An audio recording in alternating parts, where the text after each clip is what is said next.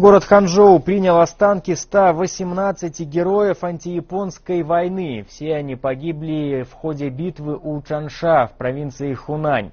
Однако родом эти солдаты были из провинции Джедян.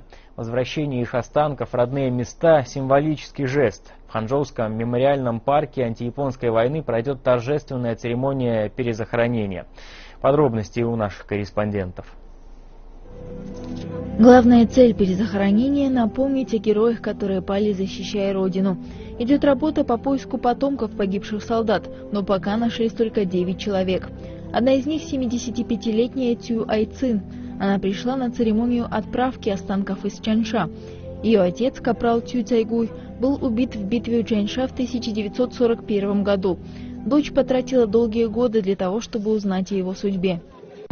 Сегодня мы вспоминаем о былом вместе с отцом. Наша семья снова объединилась. Теперь все будет хорошо.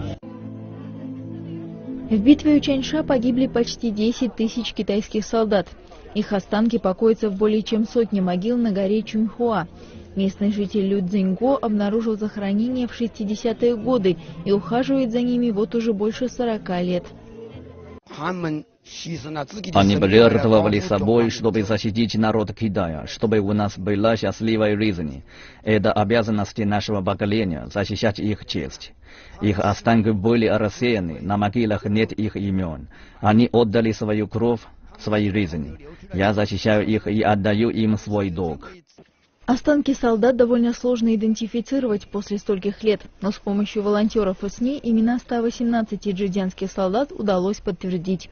Все они уже очень скоро будут покоиться на родной земле, в Ханчжоуском мемориальном парке антияпонской войны. Анна Санякевич, CCTV.